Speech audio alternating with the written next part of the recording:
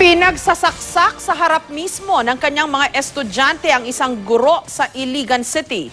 Dahil naman sa matinding pagbaha, isinailalim na sa state of calamity ang walong bayan at dalawang lungsod sa Davao del Norte. Yan at iba pang balita sa probinsya sa report ni Rida Reyes. Sa Iligan City, namatay sa pananaksak sa harapan mismo ng kanyang mga estudyante ang isang guro. Naisugod sa ospital si Cheryl Dologin pero idineklarang dead on arrival.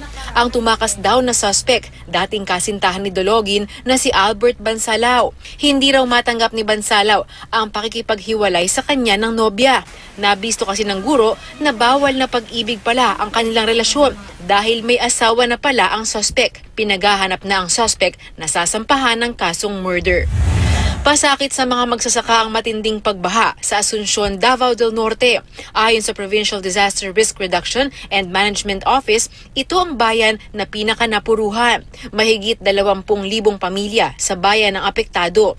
Habang sa buong probinsya, mahigit 60,000 pamilya na ang binaha. Dahil dito, isinailalim na sa state of calamity ang naturang bayan, maging ang pitong bayan at dalawang lunsod.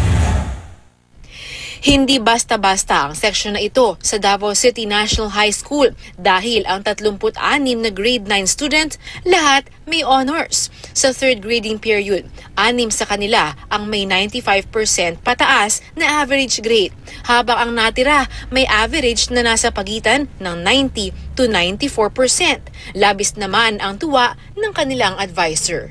Rida Reyes, GMA News.